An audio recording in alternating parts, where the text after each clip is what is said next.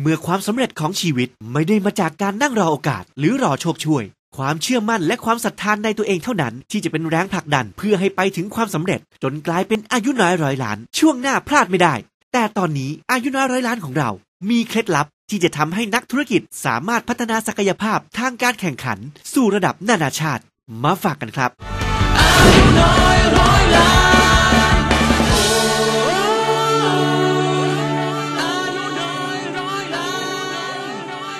ในโลกที่มีการแข่งขันทางธุรกิจสูงขึ้น การพัฒนาศักยภาพของตัวเอง เพื่อที่จะสร้างคุณค่าให้กับองค์กร และช่วยให้สามารถแข่งขันในระดับนานาชาติได้ จึงมีความสำคัญมากก็เป็น Business Development Manager นะควรจะต้องรู้ทั้งหมด อย่างเช่นเทคโนโลยี ซึ่งมันเป็นเรื่องที่ยากมาก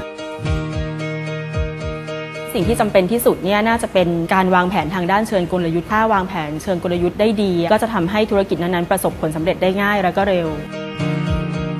สแตมฟอร์ดเนี่ยยังให้โอกาสไปประกวดแผนพัฒนาธุรกิจ ซึ่งเป็นระดับทั่วโลกดิฉันเนี่ยได้นำมาประยุกต์ใช้ในชีวิตประจำวันที่แท้จริงของดิฉันเลยอะค่ะนี่เป็นประสบการณ์ที่ดีมากเลยนะคะ และหาที่ไหนไม่ได้เลยค่ะ